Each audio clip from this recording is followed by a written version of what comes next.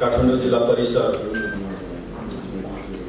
हार्दिक आभार प्रकट गर्न चाहन्छु। हामीलाई के थाहा छ भने शान्ति सुरक्षा कायम गर्ने सन्दर्भमा अपराध अनुसन्धान र नियन्त्रण गर्ने सन्दर्भमा हाम्रा जनशक्तिहरू दक्ष हुनुपर्छ सक्षम हुनुपर्छ र हाम्रा जनशक्तिहरूलाई साधन स्रोत सम्पन्न बनाउनुपर्छ। अनि मात्रै हामीले चाहे अनुसारको हामीले उद्देश्य राखे अनुसारको उपलब्धि रिजल्ट हासिल गर्न सक्छौँ। यो सर्वग्राह्य कुरा हो। जबसम्म हाम्रा जनशक्तिहरू साधन स्रोत सम्पन्न हुन सक्दैनन् तबसम्म हामीले सोचेअनुसारको नतिजा हासिल गर्न सकिँदैन। शान्ति सुरक्षा कायम गर्ने सन्दर्भमा होस् अपराध अनुसन्धान गर्ने सन्दर्भमा होस् नियन्त्रण गर्ने सन्दर्भमा होस्। हरेक कुरामा हामी कि प्रविधिसँग जोडिनुपर्छ कि हाम्रो जनशक्तिको आकार बढाउनुपर्छ कि दुइटै बढाउनुपर्छ। यस सन्दर्भमा आज हाम्रा जनशक्तिहरूलाई साधन स्रोत सम्पन्न बनाएर विशेष गरी परिसर र मातहतका सबै किवाटीहरूलाई बडी वान क्यामेरासहित र अन्य साधनहरू सहित एउटा छुट्टै दस्ताको रूपमा परिचालन गर्न सक्ने गरी जुन तयारी भएको छ यसले पक्कै पनि काठमाडौँ प्रहरी अब पुरातन अवस्थामा होइन अब नवीनतम अवस्थामा काम गर्न सक्षम छ अब प्रविधिसँग जोडिएर काम गर्न सक्षम छ भन्ने कुरा पनि यसले देखाउनेछ र साथसाथै हामीले गर्ने काम कारवाहीमा प्रविधि मैत्री भएर काम गर्न सक्यौँ भने हामीले सूचनालाई एकदम भरपर्दो तरिकाले वैध तरिकाले सङ्कलन गर्न सङ्कलन गर्न सक्छौँ। सूचनालाई व्यवस्थित ढङ्गबाट विश्लेषण गर्न सक्छौँ सम्प्रेषण गर्न सक्छौँ र त्यसका माध्यमबाट चाहिँ हामीले चाँडोभन्दा चाँडो तोकिएको समयभन्दा चाँडो हामीले चाहिँ अपराध नियन्त्रणको कार्यलाई बढी भरपर्दो बनाउन सक्छौँ। अपराध अनुसन्धानसँग जोडिएका कामलाई हामीले छिटोभन्दा छिटो त्यसलाई चाहिँ सही सूचनाहरू मार्फत पुरा गर्न सक्छौँ। आजको यो कार्यक्रमले पक्कै पनि हामीलाई त्यसतर्फ डोर्याउनका लागि मद्दत गर्नेछ। यस सन्दर्भमा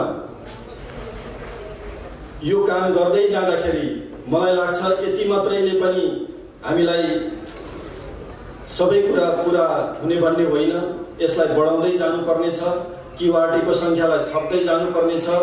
हामीलाई अहिले के लागिराखेको छ भने सङ्घीयतापछि जुन हिसाबले चाहिँ विभिन्न पालिकाहरू बनेका छन् नगरपालिका बनेका छन् त्यसका आधारमा अहिले हाम्रा प्रहरी संरचनाहरू पुनरावलोकन हुन सकेको छैन। हामीले ओएनएम सर्वेक्षणहरू गर्न सकेका छैनौँ। हाम्रो प्रहरी सङ्गठनहरू कोर एरियामा मात्रै अहिले कन्सन्ट्रेट भइराखेको स्थिति छ। हाम्रा वृत्तहरू सबै कोर एरियामा मात्रै छन्। तर अहिले हाम्रो जनसङ्ख्याको आकार कोर एरियामा नभइकन बाहिर बाहिर फिजिएर गइराखेको छ। कोर एरियामा त अहिले व्यवसायिक कामहरू बढी हुन थालेका छन्। तर मान्छेको बसोबास जनघनत्व बाहिर बढिराखेको छ। त्यो हिसाबले हाम्रा संरचनाहरूलाई अब चाँडै नै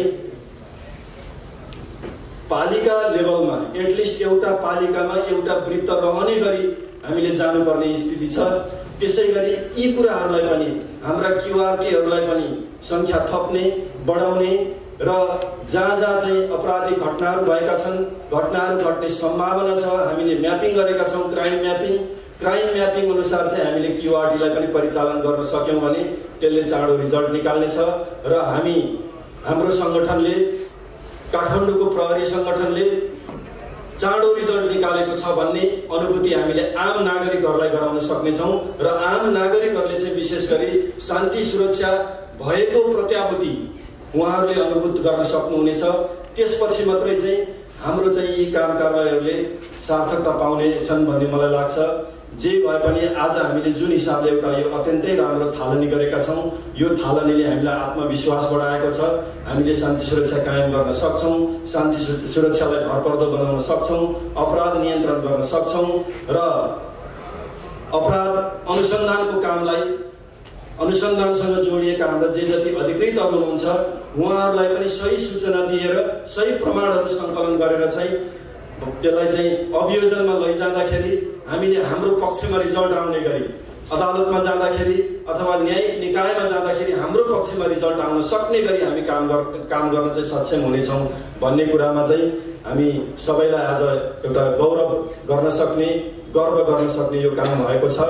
मैले यसका निम्ति फेरि पनि परिसरका प्रमुखज्यू यसै साहबलाई धेरै धेरै आभार पनि प्रकट गर्छु धन्यवाद पनि व्यक्त गर्दछु र यो कामका लागि समग्र नेपाल प्रहरीको टिमले जे जति चाहिँ योगदान पुर्याएको छ सबैप्रति हार्दिक हार्दिक आभार प्रकट गर्दै मेरो भनाइ पनि यही अन्त्य गर्दछु। धन्यवाद। नमस्कार।